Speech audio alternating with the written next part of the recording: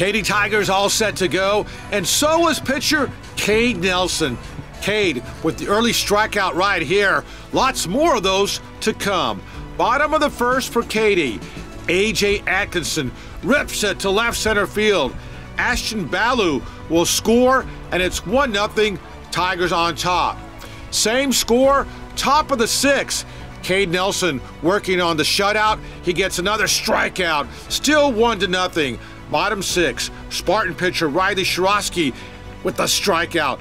But the Tigers put two on. Here's Cade Nelson at the plate. A blast way back. A three-run homer for Nelson. It's four to nothing. Katy, top of the seventh inning. Seven Lakes, a runner on second. Ball gets away, but the catcher, Blake Davila, fires a strike. Sutton Hall makes the tag and the out. Nice play. Two outs now. Here's Nelson.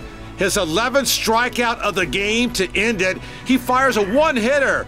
Katy wins four to nothing. They go to 10 and 3 in district, one game back of Cinco Ranch.